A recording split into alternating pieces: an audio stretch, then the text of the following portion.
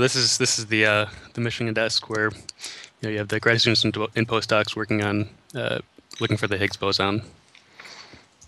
You also have uh, an office over here where people are working on uh, low PT physics. So looking for rare decays of uh, of uh, B mesons. We're at the critical point now, and the Higgs search has been going on for, for you know for the last few decades because the Higgs boson is so fundamental in, in our understanding of the uh, so-called uh, standard model for particle interactions. And the other part of looking is you have to have a detector, so you see photons with your eye, and you can see them with a camera.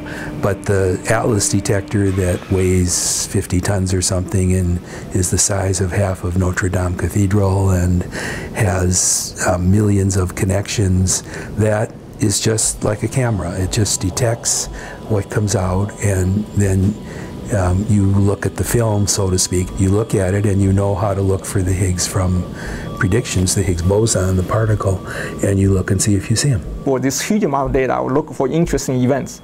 Okay, so we know we have to do simulation, how Higgs, from a theoretical point of view, how Higgs should be, can be produced, can decay, and what kind of signature you're looking for. So you're looking for small signatures over a huge background. We're at the point where we can see signs of it, if it's actually there, um, it could also just be you know statistical fluctuations.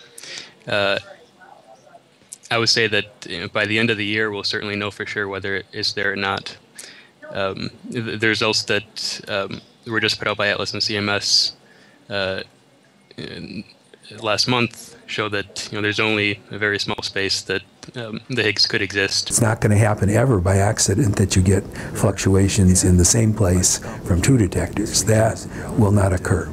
But the fact that they're both there um, makes it, in my mind, totally certain, not uh, unambiguously certain, that there is a signal and they're observing it. They see the same thing within their errors and resolution. There's no doubt that it's going to be there. Discovery discovery. I hope we discover Higgs, uh, uh, Higgs boson. You know, apart from some family things, nothing could be more exciting. This is um, just off scale. Um, I, I, would say that if you, I don't know what to compare it with, but if you compare it with the way soccer fans in South America and Europe behave, I'm much more excited.